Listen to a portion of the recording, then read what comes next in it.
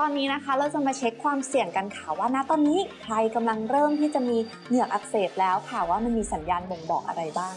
ส่วนมากเลยเนี่ยคนไข้มาหาหมอก็คือ จะบอกว่าแปรงฟันแล้วมีเลือดออกค่ะ เลือดจะออกง่ายค่ะ แล้วก็เหงือกในบริเวณที่อักเสบตรงนั้นก็จะเป็นแดงๆค่ะ จะเห็นสีแดงๆเข้มๆขึ้นมาตามขอบเหงือกค่ะ อาจจะมีบวมๆด้วยค่ะ ก็คือเหงือกจะไม่ใช่เป็นเหงือกสุขภาพดีที่แน่น ๆ กับฟันค่ะสาเหตุของโรคเหงือกอักเสบจริง ๆ มีได้หลายอย่างเลยค่ะ อาจจะเป็นเรื่องของฮอร์โมนนะคะ อาจจะเป็นเรื่องของ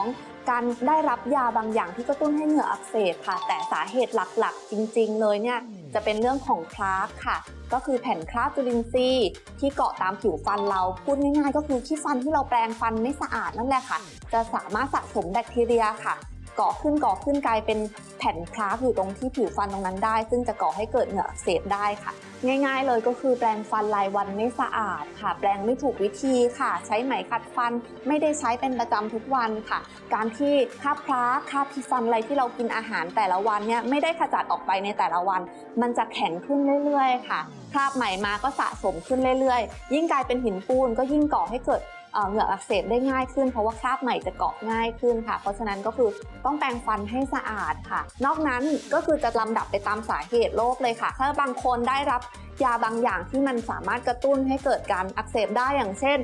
ยาความดันบางชนิดค่ะ ยาของโรคกันชักบางชนิดค่ะ สามารถกระตุ้นได้ตรงนี้อาจจะต้องไป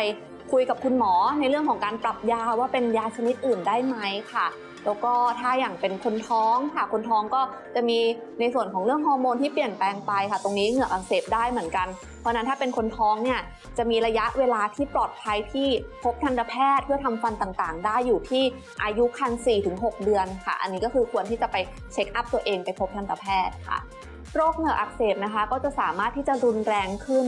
ได้ค่ะ ก็จะกลายเป็นโรคปริทันอักเสบ ก็คือเริ่มมีการทำลายของเนื้อเยื่อโดยรอบรากฟันค่ะ อาจจะตรงเหงือกจะเริ่มร่นค่ะ สักพักหนึ่งกระดูกจะเริ่มละลายตัวค่ะ เป็นปล้องลึกปริทันค่ะ แล้วพอกระดูกเราละลายตัวลงเรื่อย ๆ แล้ว ฟันเราจะเริ่มโยกขึ้นโยกขึ้นค่ะ สุดท้ายถ้ายังไม่รักษาอีกตรงนี้ก็คืออาจจะต้องถอนฟันก็เสียฟันไปในที่สุดค่ะ ถ้าใคร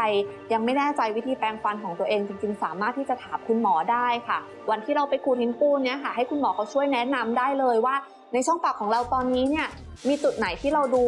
ยังดูแลทำความสะอาดได้ไม่ดี คุณหมอเขาจะเห็นเลยค่ะ เพราะว่ามันจะมีเหมือนเป็นสัญญาณบอกอยู่ข้างในว่าตรงเนี้ยหินปูนเยอะผิดปกติ ตรงนี้มีคราบเยอะผิดปกติ คุณหมอเขาจะได้ชี้แนะแนวทางของแต่ละคนให้ค่ะว่าควรจะทำความสะอาดยังไง ใช้ไหมขัดฟันยังไง